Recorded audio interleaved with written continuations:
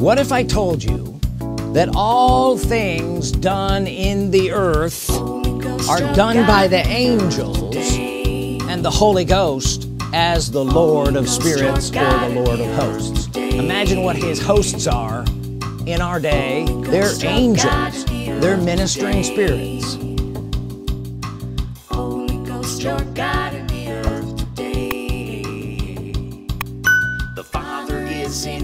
The Holy Ghost is God in the earth today, and you walk with Him by saying words. My name is Andrew Hemstrought. Thank you for joining us. If this is your first time here, make sure that you subscribe. If this isn't your first time here and these messages have been blessing you, then consider becoming a partner with us. Today, I'm going to be talking about the Holy Ghost. But you see, the Holy Ghost is God in the earth today. And if you want to walk with God in the earth today, you're going to be walking with the Holy Ghost. So you should know Him more and more. Say more and more. I mean, people think, oh, they know all about God or they know all about the Holy Ghost. Well, don't listen to them. They don't know what they're talking about. There's always more. Say, there's always more that you can learn about the Holy Ghost. And I'm going to be talking about some of those things today. I apologize up front if what I'm going to say is upsetting to things that you've previously thought about God or especially about the Holy Ghost.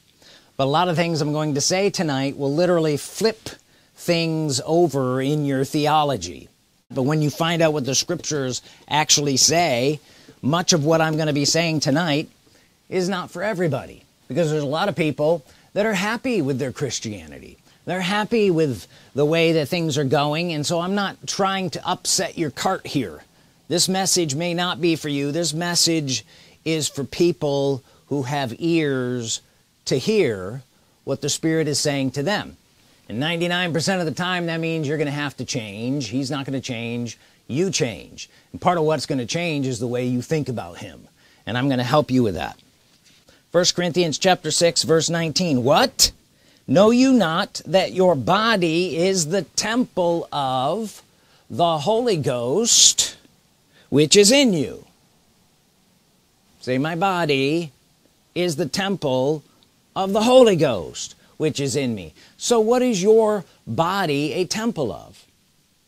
The Holy Ghost. So he you're in the earth, he must be in the earth, right? Let's read on here. Which you have of God, that's talking about your body, and you are not your own, for you are bought with a price. Therefore, glorify God in your body. Now, who's the God that's in your body? We just read that in verse 19. It says, What? No, you're not that your body is the temple. Say temple. Temple of the Holy Ghost. Your body you have of God. Glorify God in your body. Who would the God that's in your body be? The Holy Ghost. Who are you supposed to glorify? Holy Ghost. Are you here? What? Know you not this? I, I'm often dumbfounded over, although I wasn't brought up this way, but I'm dumbfounded when I bring this up to people and they're like, what? 2nd Corinthians 6, 16. And what agreement has the temple of God with idol? Who's the temple of God? It says right here, you are the temple of the living God.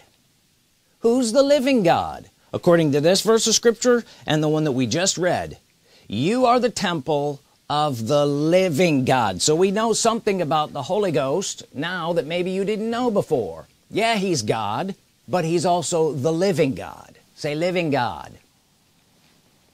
Now you're beginning to know who this God is that's in you. Let me ask you a question though. When did you stop being a temple of God? You didn't stop being a temple. Of, you what? No, you not. You are. You are a temple. So you are right now. If you're a temple, what should you be doing? You're walking around with God in you. A temple of God is for the worship of God, specifically the worship of the God that's in the temple. God is a spirit. They that worship him must worship him. Well, who must worship him? The temple of God that you are. So all day long, I worship you, Holy Ghost. All day long, I worship you, Holy Ghost. You don't ever cease being a temple of God that's who you be you be a temple of the living God go to first John first John 4 4 you are of God little children and have overcome them because greater is he that is in you. Who's the he that is in you? According to scriptures that we just read. The he that is in you is the Holy Ghost. Yeah yeah well yeah yeah. Let's re read read back up here verse 2 hereby know ye the Spirit of God? He's literally talking about the Spirit of God. This is how you know the Spirit of God. We're talking about knowing the Spirit of God in a different way. Then he goes down to verse 4 you are of God little children and have overcome them the world because greater is he that is in you than he that is in the world. Who is the greater one that's in you? That would have to be the Spirit of God verse 2 hereby know ye the Spirit of God. Are you getting this? I'm trying to frame you up here because we're going somewhere today. So the greater one is he and hereby we know the Spirit of God or the Spirit God.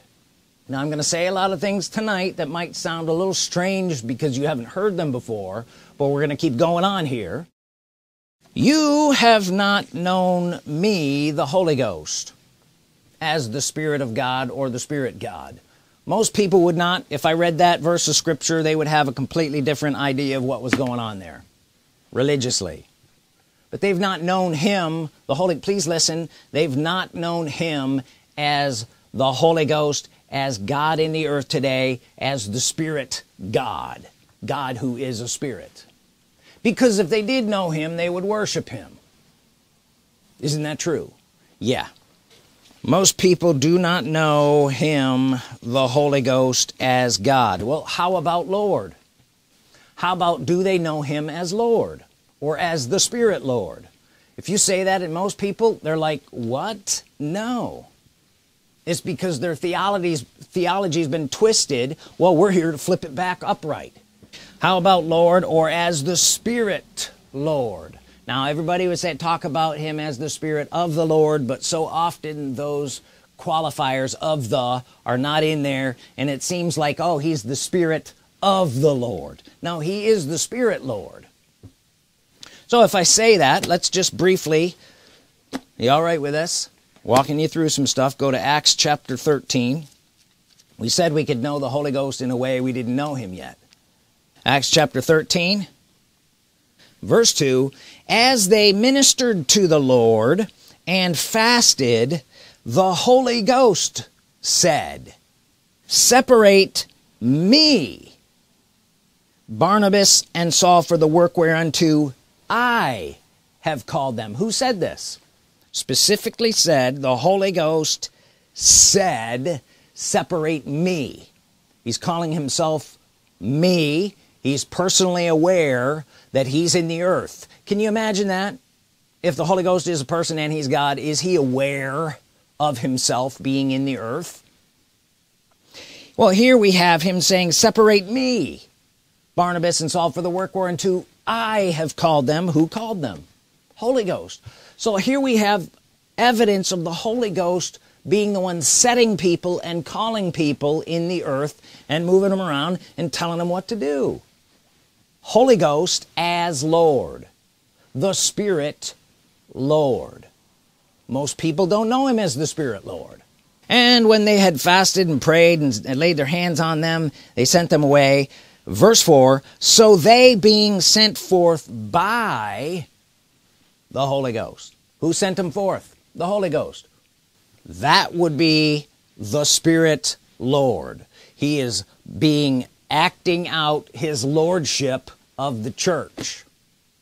Second Corinthians chapter 3 17 now the Lord is that Spirit.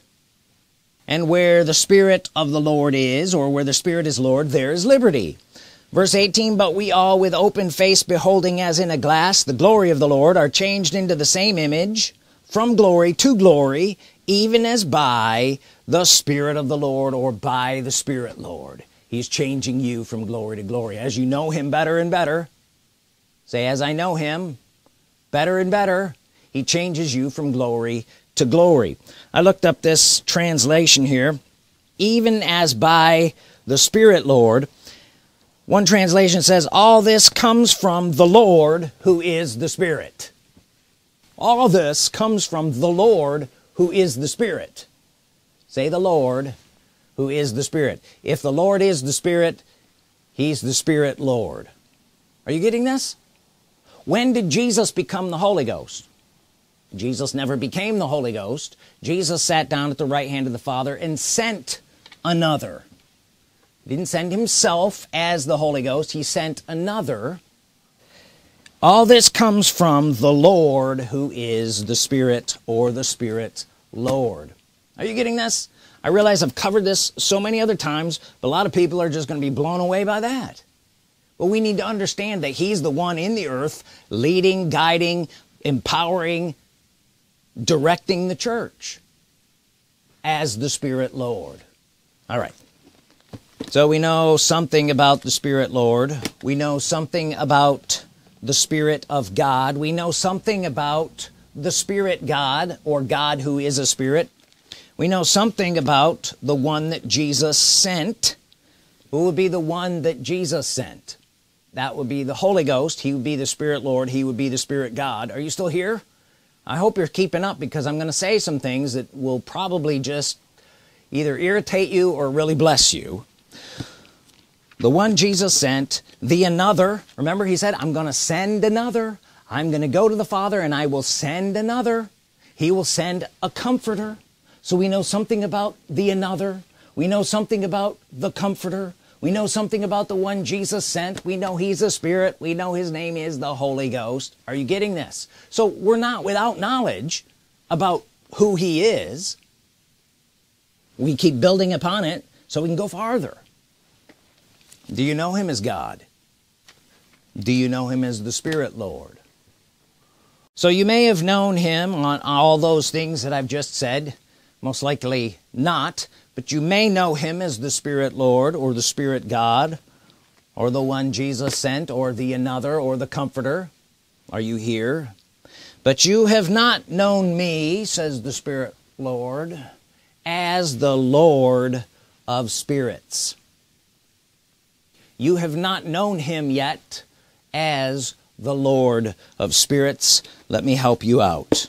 Go to Zechariah now remember can we know the Holy Ghost better than maybe we've known him before? And if we know something new about him then we can therefore know him in that way in that capacity and walk with him there. Are you here? You have not known him yet as the Lord of spirits. Some of you are excited about it. I am. Zechariah chapter 1 verse 3 therefore say thou unto them thus saith the Lord of hosts you've heard of that right? We've all heard that. Thus saith the Lord of hosts turn ye unto me saith the Lord of hosts and I will turn unto you saith the Lord of hosts. He says the Lord of hosts three times there. Now if you look up the word hosts it's literally translated armies.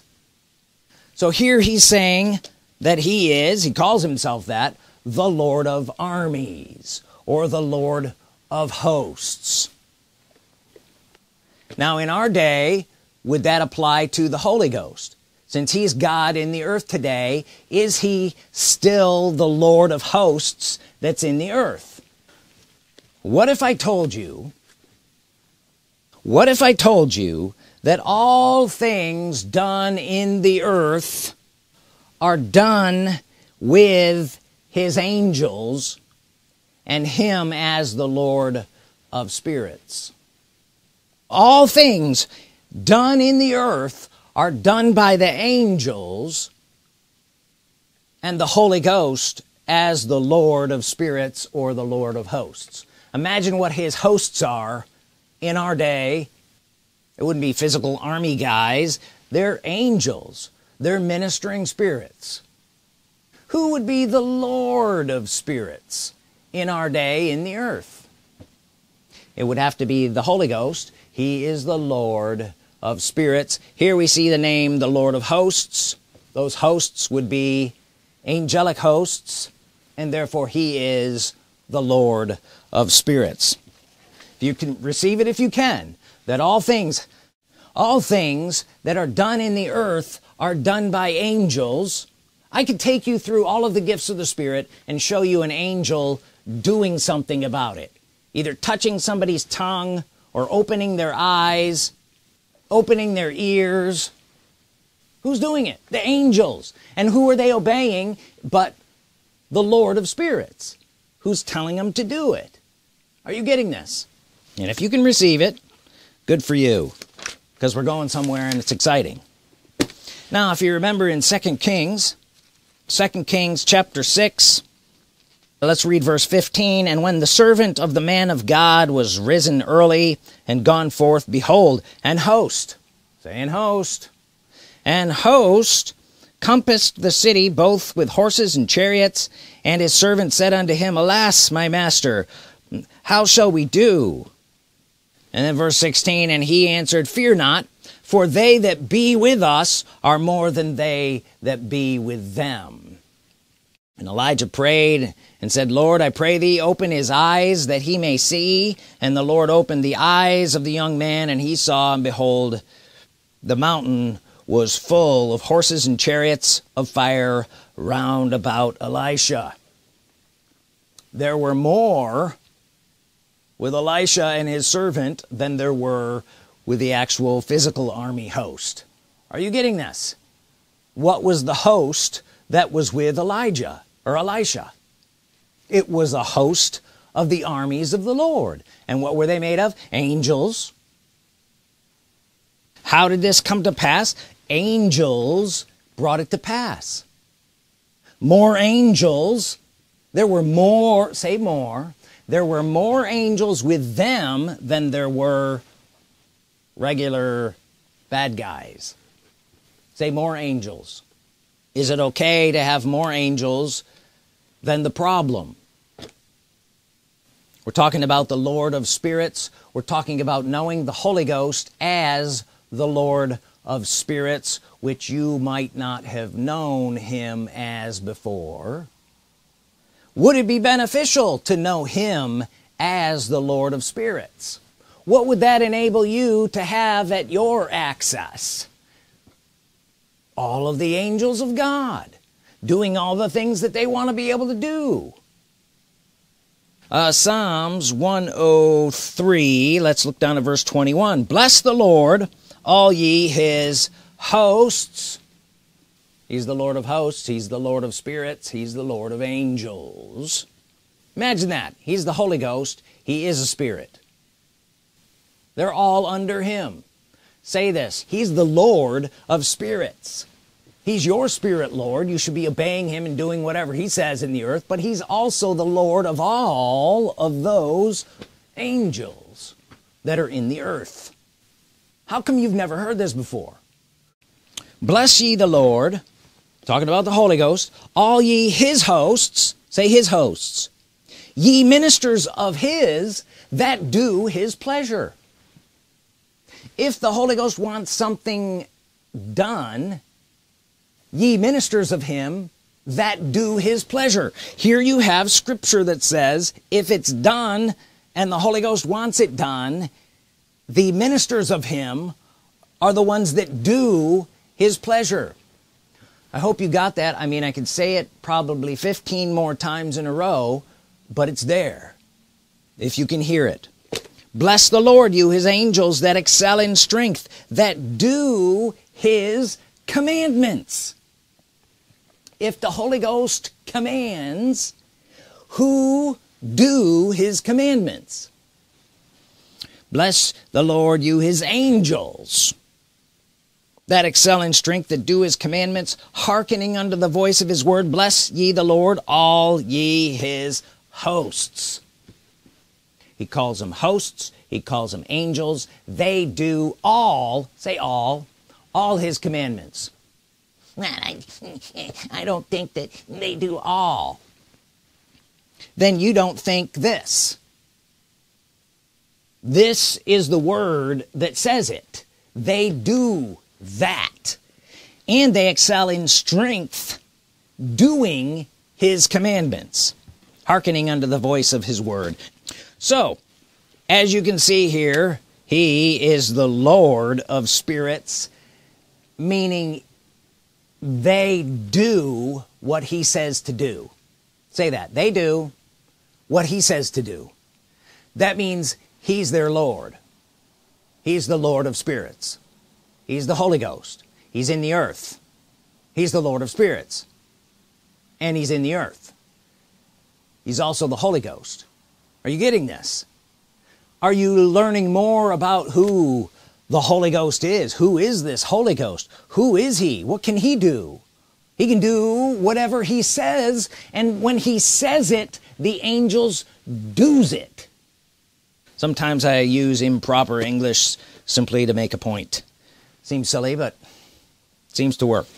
Go to uh you still in Psalms? Go to Psalms 91 so you can infer by that if something happened by the Holy Ghost was there an angel involved? Yeah Psalms 91 verse 10 there shall no evil befall thee neither shall any plague come nigh thy dwelling. Is that a promise of God? Should you confess that especially in this day and age? No evil shall befall me neither shall any plague come near my dwelling. Now if I say that am I giving voice to God's Word? Yeah if I give voice to God's Word the angels hearken to it excel in strength and do it are you here? Remember that? We just read that. Let's read it again. There shall no evil befall thee neither shall any plague come near thy dwelling. For verse 11 he shall give his angels charge over thee to keep thee in one of your ways.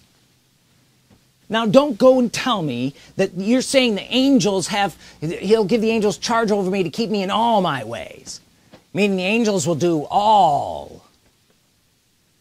No that is exactly what I'm telling you. That if it's done in the earth it's done by an angel and the Spirit Lord. Are you here? Do you still like me? There shall no evil befall thee neither shall any plague come near thy dwelling. We've already said that's a good scripture. You should confess it. How you say is it going to come to pass verse 11 he shall give his angels charge over thee. Now if he's the Lord of the Spirit angel then he has the ability to give them charge right?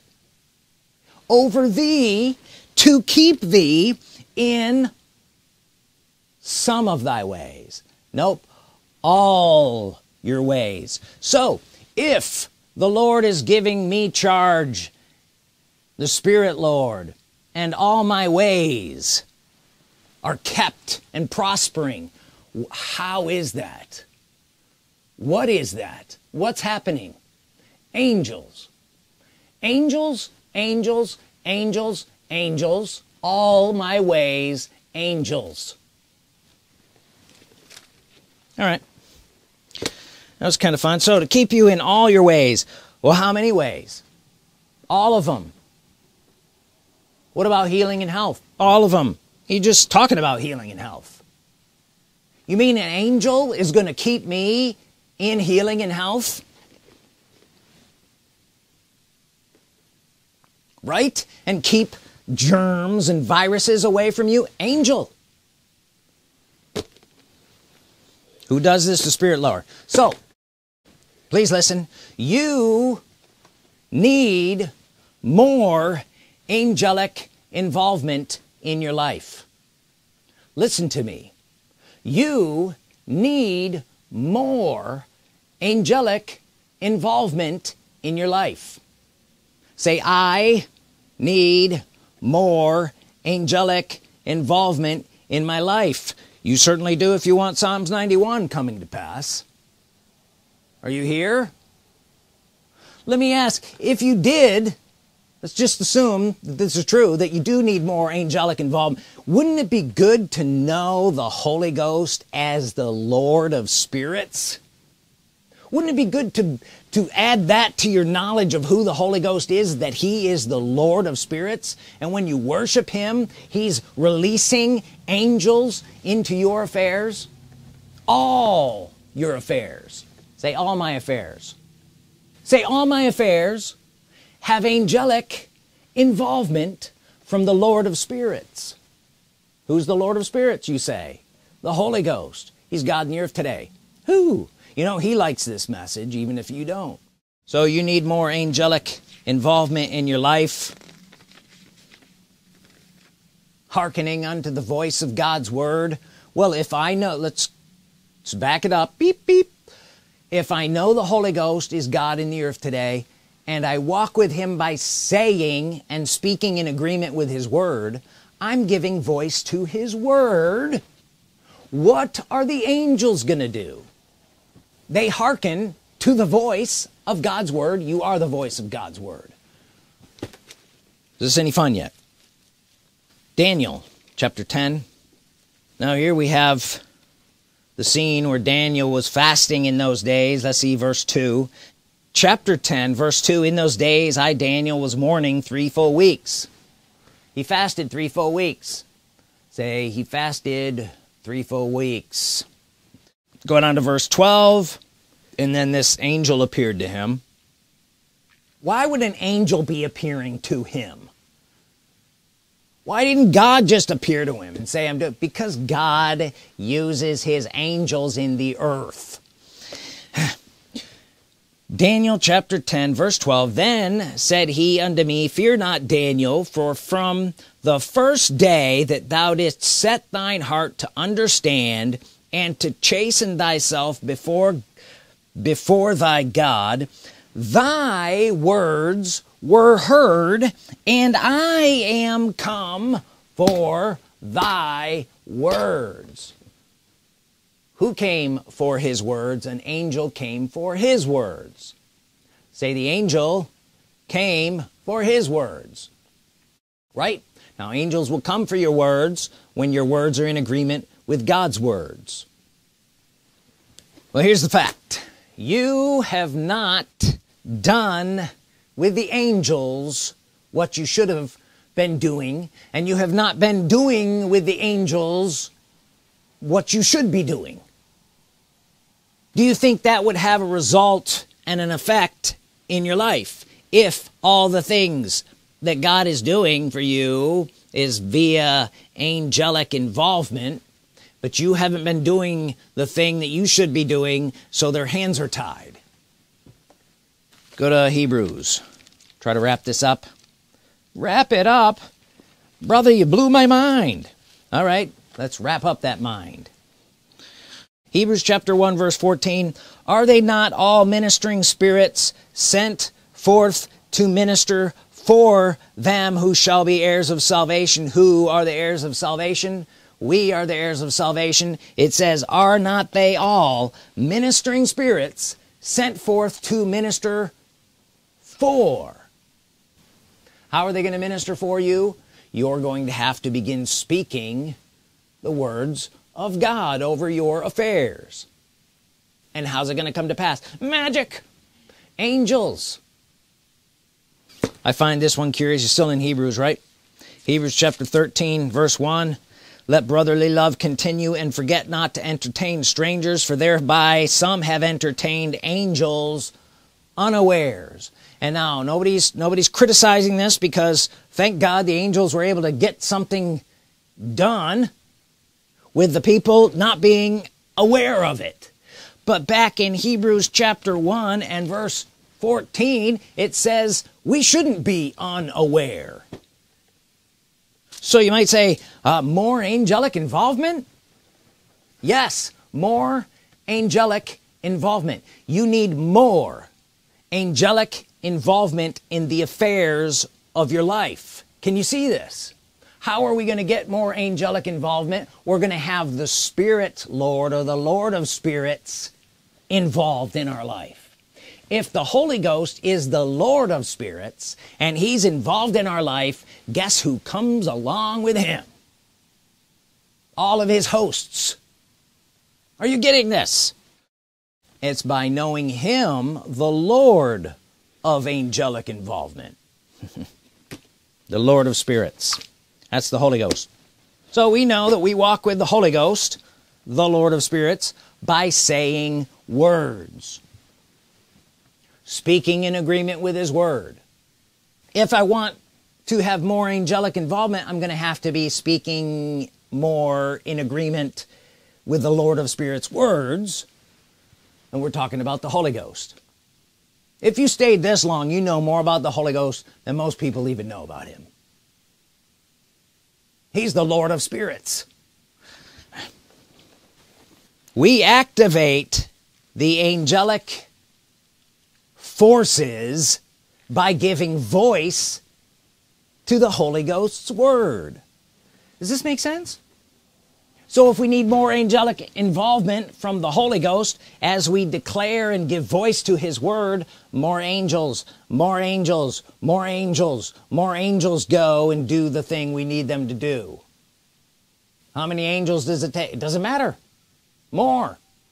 It overwhelms the enemy. You are now introduced to the Holy Ghost as the Lord of spirits Hebrews chapter 12 verse 22 but you are come unto Mount Zion and unto the city of the living God. Do you remember who the living God is? Oh you're the temple of the living God. What? No you not. We worship the living God. I worship the living God. I'm a living God worshiper. The living God is the Holy Ghost. You are come unto Mount Zion and unto the city of the living God the heavenly Jerusalem and say and and to an innumerable company of angels.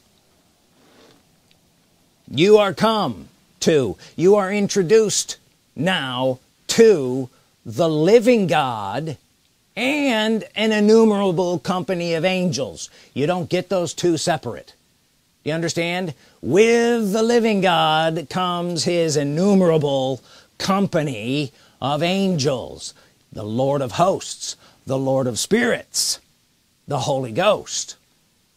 Are you getting this? How does he do what he does? He has the angels do. They go together. No Lord of spirits without the spirits. Are you here he's no Lord of there is no Lord of angels if he has no angels. He's the Lord of spirits because the spirits are under his lordship. He is the Spirit Lord. I'm enjoying this. I hope you are. Romans chapter 8 now we know him the Holy Ghost in a little bit different way than we might have known him before right?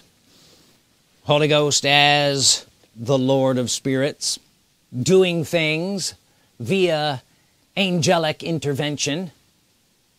Let's read verse 26 Romans chapter 8 verse 26 likewise the Spirit also helpeth our infirmities or our weaknesses inability or lack. For we know not what we should say for or pray for as we ought.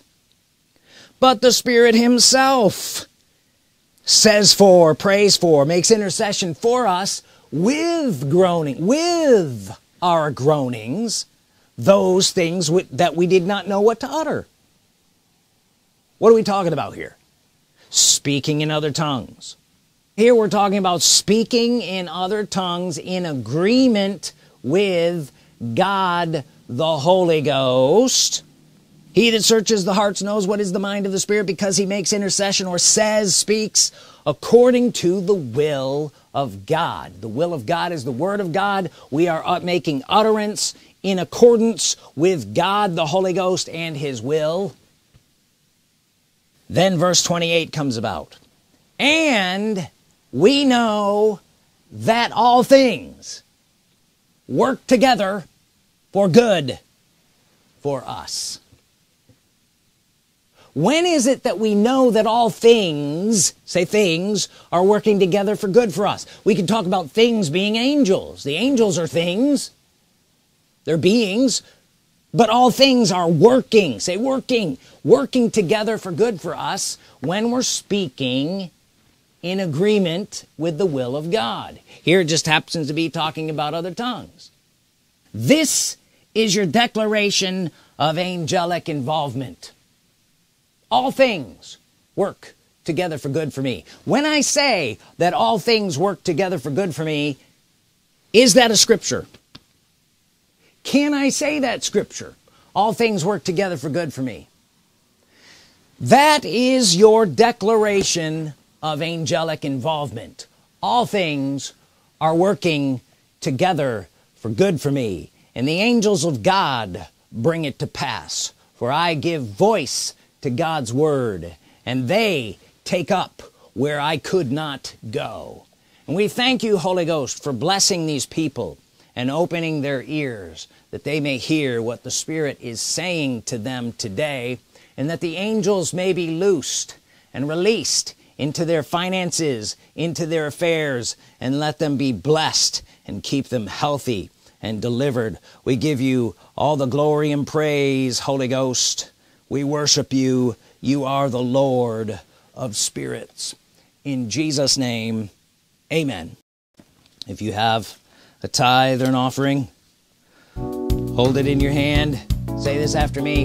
Holy Ghost I thank you that you are the Lord of spirits and that you bless me and that you receive these tithes and offerings and that the angels go forth and cause the finances and the money and the things the situations that come about to me. And bless me. I thank you Holy Ghost for it. In Jesus name amen. The Father is in heaven, Jesus at his right hand. Holy Ghost, your God in the earth